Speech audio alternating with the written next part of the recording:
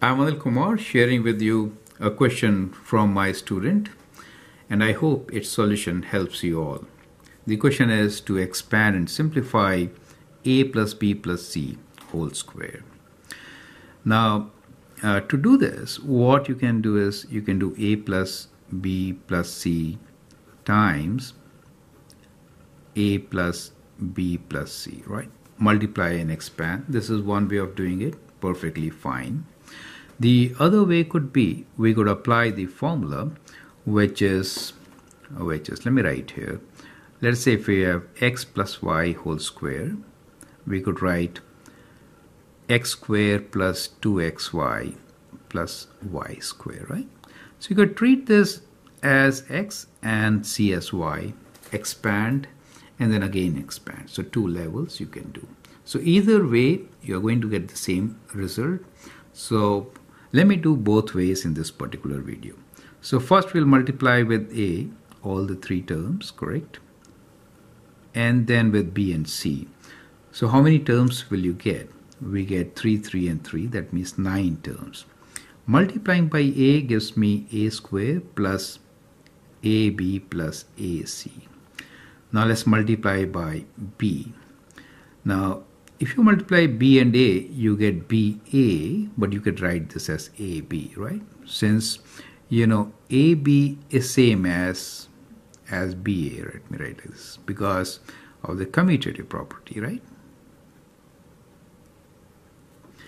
Okay so i'll prefer to write in the order a b c. Since it becomes simpler to add them add like terms you get the idea. Perfect? So b times a is AB, B times B is B square.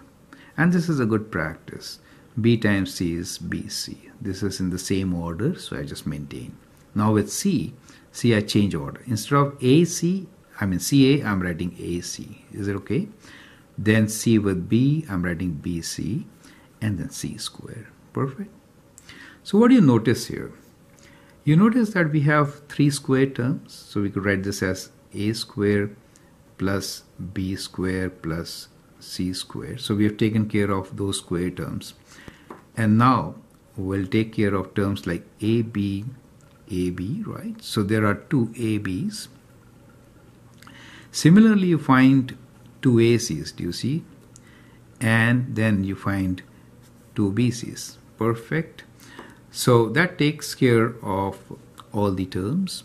So we can now write here 2AB plus 2 AC plus 2 BC. Does it make sense? So you could do like this and you get your expression and that's a, a easy way to expand a plus b plus c whole square. So the result is you get a square plus b square plus c square and you also get 2ab, 2ac and 2bc.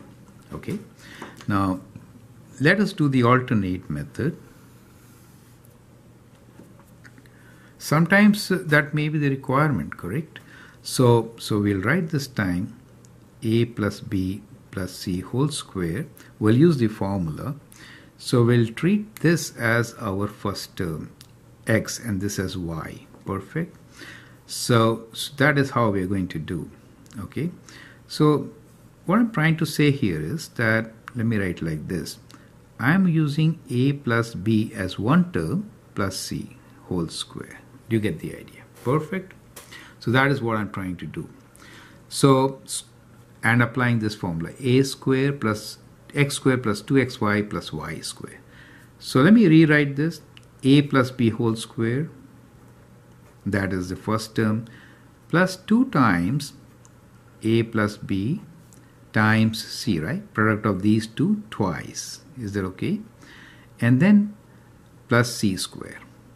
Plus c square. Now, we again have a plus b whole square, which I could expand. So I get a square plus 2ab plus b square. Let me expand these terms. 2c times ab. So we get 2ac plus 2bc. And here we get plus c square. Is it okay? So again you see we have got these three terms. I could club them together. a square plus b square plus c square. And we have the other three terms. we don't even have to club them. So we have 2ab plus 2ac plus 2bc. This seems to be complicated to start with, however, it turns out to be simpler if you really see it right.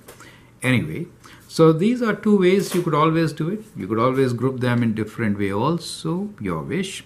Try it out and then see what you get. I hope you appreciate it. Feel free to subscribe to my videos and write your comments. Thank you and all the best.